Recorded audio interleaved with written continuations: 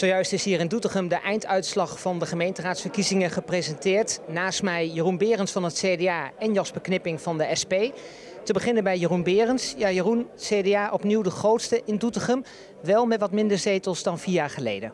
Klopt. En we kwamen natuurlijk ook van een heel hoog niveau. Uh, ik ben uh, heel gelukkig dat wij opnieuw de grootste in Doetinchem zijn gebleven. Ja. Het is allemaal wat dichter bij elkaar gekropen. Wat zegt dat jou? Nou, het zegt mij dat ik eerst de winnaars moet feliciteren. Dat zijn voornamelijk de lokale partijen. Dat zien we ook landelijk. Uh, en dat is ook in Doetinchem het geval. Dus uh, die hebben het erg goed gedaan. Gefeliciteerd. Dan even naar uh, Jasper Knipping van de SP. het leek er even op, Jasper, dat jullie zouden halveren. Maar net bij de einduitslag toch nog drie zetels. Jullie hadden er vier. Betekent eentje verlies. Kun je daarmee leven? Nou, ik denk dat we nou met deze uitslag op alle lokale partijen die zo hard gegroeid zijn, dat we blij mogen zijn dat we drie zetels hebben. En nou ja, drie is nog een mooi aantal, dus uh, we gaan er weer voor. Had je dat verwacht, die ontwikkeling bij de lokale partijen?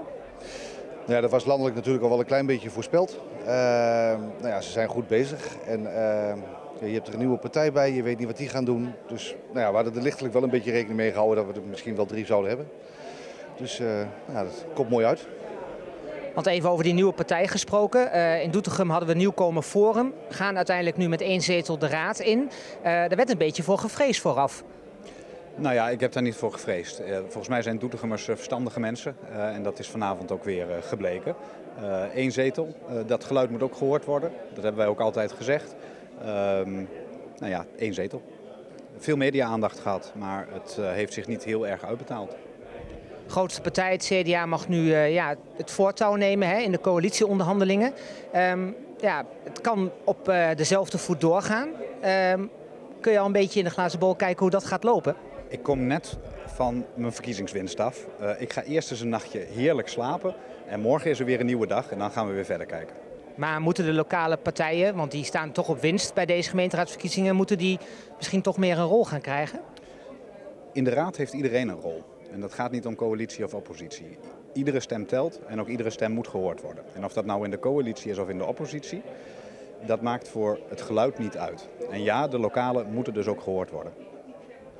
Dan nog even naar Jasper. Uh, wat denk je? Opnieuw vier jaar in de oppositie? Of zit er misschien toch nog kans in dat jullie richting de coalitie gaan? Nou ja, je ziet dat heel veel partijen mooi dicht bij elkaar zitten. Dus ik denk dat uh, wat dat betreft uh, onderhandelingsruimte aan alle partijen zit. En uh, ja, ga kijken waar we samen uitkomen. Maar toch liggen ook heel veel standpunten van de SP ver van andere partijen. Dat kan een manco zijn. Dat kan, maar goed, het, de tegenstelling kan elkaar ook sterker maken. Dus kijken waar we op uitkomen in de onderhandelingen. Dus we gaan het zien. Nou, bij de heren geniet even van deze uitslag en we gaan de coalitieonderhandelingen afwachten. Dankjewel. Dank